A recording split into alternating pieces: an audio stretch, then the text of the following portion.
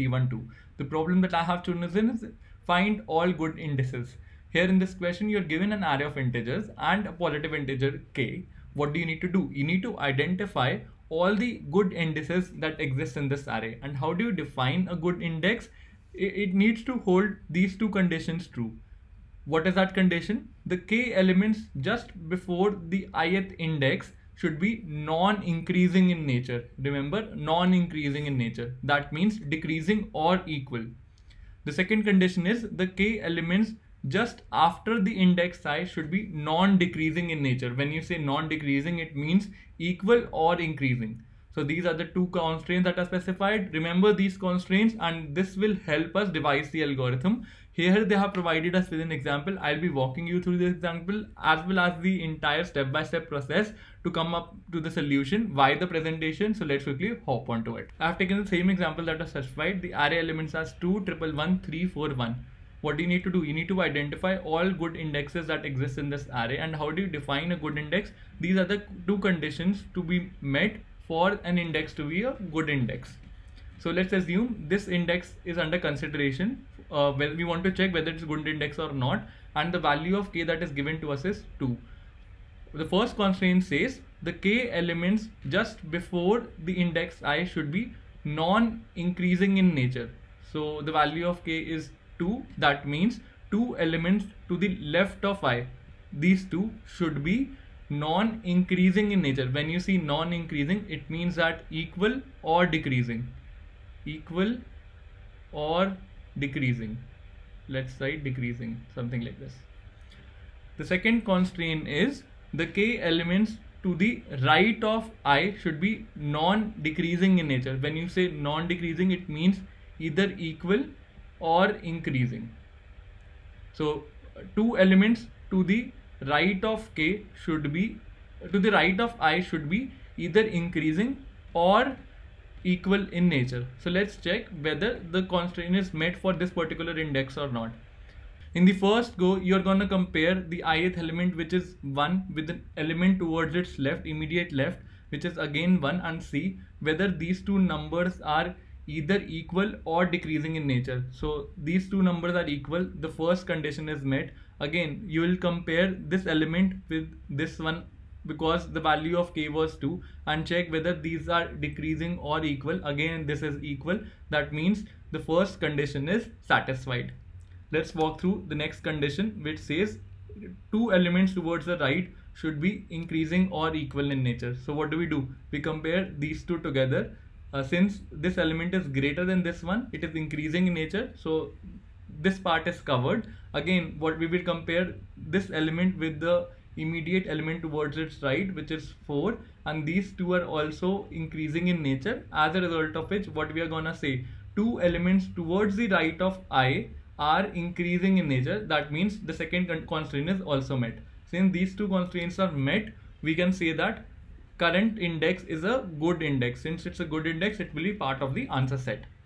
Now comes the question, we need to identify all such good indexes. How are we going to do that? Just remember these two equations and we will be exploiting these two equations that I have just talked here while concluding the entire algorithm. So let's quickly move on to it. Let's divide the problem into two parts. The first one is for the first constraint and the second one is for the second constraint. We will be focusing our attention onto first constraint over here we need to identify the count of the elements that occur in non-increasing order in this entire array moving from left to right. So let's start the iteration. The first element that you see happens to be 2 and uh, 2 doesn't have any element towards its left. As a result of which what you're going to do, you'll update the count with 1. Let's proceed ahead. The next element that you have happens to be 1 in nature and uh, what do we do over here? We compare this one with the element towards its immediate left which is 2 what kind of pattern it is? It is decreasing pattern. As a result of which the elements are non-increasing in nature. We'll update the count to 1 plus 1 which is 2 whatever the count over here is you add one more to it. Let's proceed ahead. The next element that we see happens to be 1 and again what we are going to do? We'll compare this element with the element towards its left since we have another one over here again the pattern is matched. It is non-increasing in nature. These two are equal.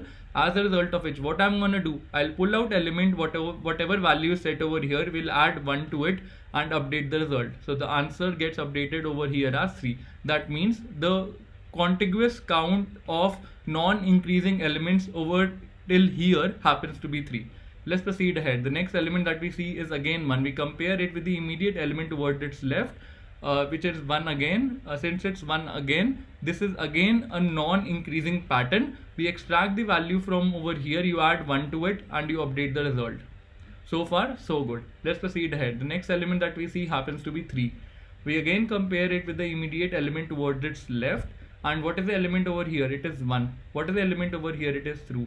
It becomes increasing in nature. The question says it should be non-increasing. So the constraint is not met. As a result of which, what we are going to do this time will not pull out the value from over here. Rather, it's a reset kind of a thing. So we'll reset it to one because the count is getting resetted over here. And since uh, one there would be one single element, therefore the answer for this particular index is one. Let's proceed ahead. The next element that we see happens to be four and again we'll do the comparison between the element towards its left it is 3 since it is increasing in nature what we are going to do we will not pull out the value from over here. We will set it to 1 because uh, solely 4 will correspond to a single entry for the non-increasing array. Let's proceed ahead. The next element that we see happens to be 1 we compare it with the immediate element towards its left. It is 4 since it is decreasing in nature our constraint is met. We extract the value from over here and add 1 to it so 2 1 plus 1 gives you 2 so the answer corresponding to this index becomes 2 so far we have identified the count of non-increasing array that exists in this entire array and this represents that count let's proceed ahead and do a similar kind of activity for the second part as well. Now we are interested in looking out for the non-decreasing order while moving from the ith index towards the k elements on its right.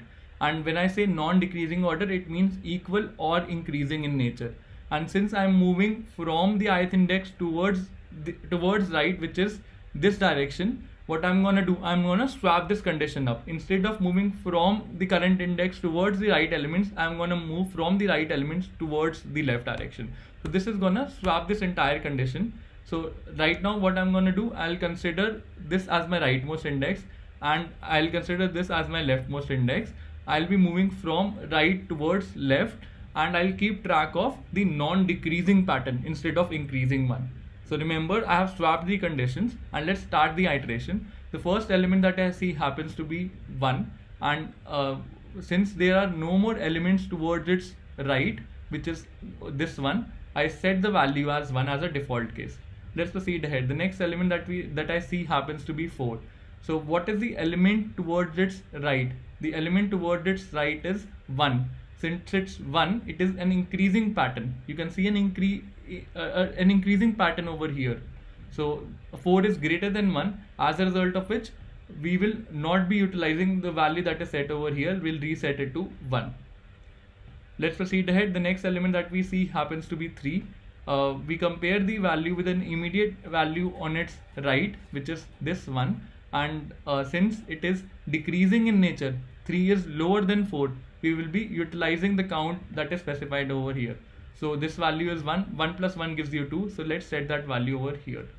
Let's proceed ahead. The next next event the next element that we have is 1 we'll compare it with an element toward its right which is 3 uh, since 1 is lower in value than 3 we will be utilizing the corresponding value at 3 which is 2 2 plus 1 gives you 3 so let's set it to 3 let's proceed ahead. The next element that i have is 1 we will be comparing it with an immediate value towards its right uh, which is again 1 since 1 and 1 are equal uh, again the constraint is met and we will be utilizing the value that is set over here which is 3 3 plus 1 gives you 4 let's update it to 4 and let's proceed ahead. The next element that I see is 1 1 and 1 are equal. We'll be utilizing this value which is set at 1 which is 4 4 plus 1 gives you 5 let's proceed ahead. The next element that we have is 2 2 happens to be greater in value than the immediate value toward its right. As a result of which it is an increasing pattern. We were looking out for decreasing patterns. As a result we will not be utilizing the value that is set over here. It's, going to be a reset kind of a thing. The value gets updated to 1 so far we have built in the non-increasing order consecutive elements count and similarly non-decreasing consecutive element count which is given by these two arrays that I have created. Now comes the most interesting part. The value of k that is given to us as uh, is 2. Uh, we, I'll be iterating over this entire array and we start the iteration from i equals to 2 because at minimum there should be two elements towards the left of i and what do we do? We check what value is set at i minus index in my non-increasing array count uh, which is this one similarly we check the value over here which is in non-decreasing count which is 3 and we see whether these two values are greater than or equal to k. If that is the case then the current index under consideration becomes a happy case. It's a good index. Since these two values are greater than or equal to 2 that makes up till the happy case. We add this index in our answer set. So 2 gets added as part of our answer set.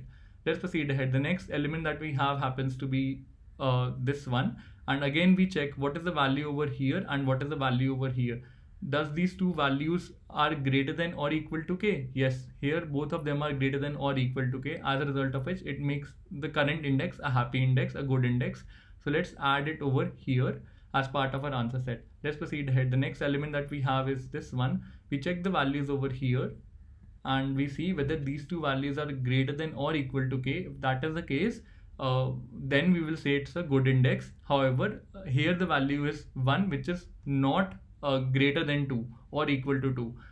As a result of it, this index is not a good index. And with this we have successfully iterated over the entire array. We can't go beyond this index because at minimum there should be two elements towards its right. And the time complexity of this approach happens to be order of n. The space complexity of this approach again order of n and the answer results finally stores 2 and 3 which is in sync with our expectation. To conclude it further let's quickly walk through the coding section and exactly follow the same steps as i've just talked over here. Go step by step as we talked in the presentation. Here i've created the non-increasing count array filled in with one value by default.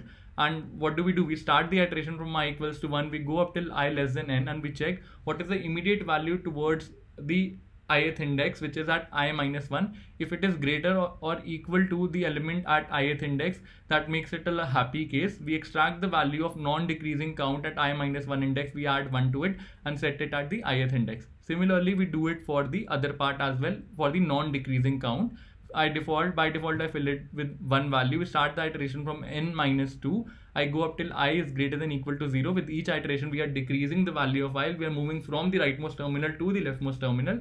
And as soon as we see that the value at i plus 1 index is greater than or equal to the element under consideration that makes up till the happy case. We extract the value set at i plus 1 index that means immediately towards its right and add 1 to it and set it at the ith index. Moving ahead, here I have built in my answer array which will actually store my result and I start the iteration from i equals to k. I go up till i less than n minus k. And with each iteration I check whether in my non-increasing count at i minus 1 index is it is the value over here is it greater than or equal to k? If that is the case and the value in my non-decreasing count at i plus 1 index if that both of these are greater than or equal to k that means my current index happens to be a good index.